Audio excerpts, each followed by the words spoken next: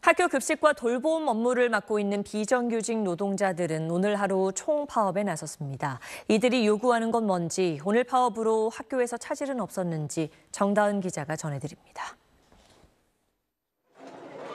서울의 한 중학교 점심시간. 식판 위엔 밥과 반찬 대신 샌드위치와 주스가 놓였습니다.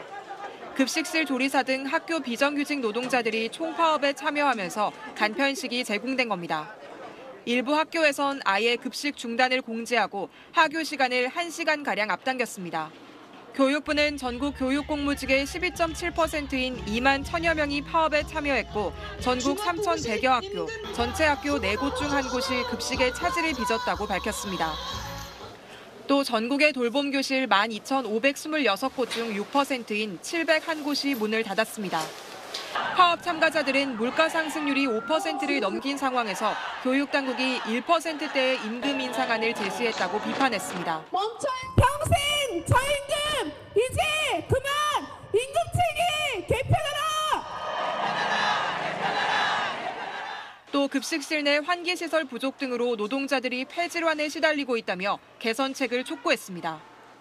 2018년 저 폐암 선제 이후 다섯 명의 동료들이 세상을 떠났으며 수많은 동료가 폐암으로 폐질환으로 투병하고 있습니다.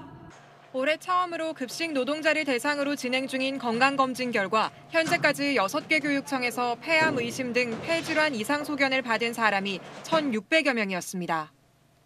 붙인 게 붙이고 나면은 이 판이 까매, 까매져요. 그러면 여기를 깨끗이 하얗게 닦아야 되거든요. 약품을 닦으면 이 연기가 뿌옇게 안개처럼 나와요.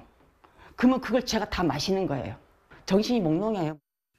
전국 학교 비정규직 연대회의는 임금 인상과 근무 환경 개선 등이 이루어지지 않으면 내년 새학기에 다시 총파업에 나서겠다고 밝혔습니다. SBS 정다은입니다.